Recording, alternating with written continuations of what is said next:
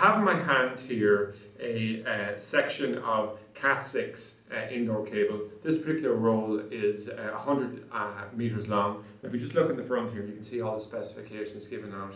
So the cable itself is just marked out in, um, you know, from 1 to 100 meters. So if you're cutting off a length, you can actually see exactly what length you've used, things like that. And that can be quite handy.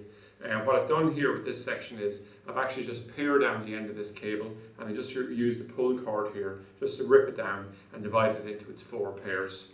So the first thing we'll notice and one of the significant differences between a Cat5 and a Cat6 cable is the Cat6 cable has this central core here. So what it has is four slots in it. So it means that we can actually push any one of the four pairs that make up the cable into the slots here and it goes in uh, quite neatly. And then the second thing um, about it, apart from giving extra strength to it, to such a design minimises the level of interference, and that's obviously quite advantageous. Uh, the material in it is CCA, so it's copper clad aluminium, and uh, the overall uh, speeds in this uh, are quite good. Now you could spend a lot more money and go for a pure copper content, but certainly the this particular version here massively outsells the pure copper version, simply because the speeds in it are still very impressive.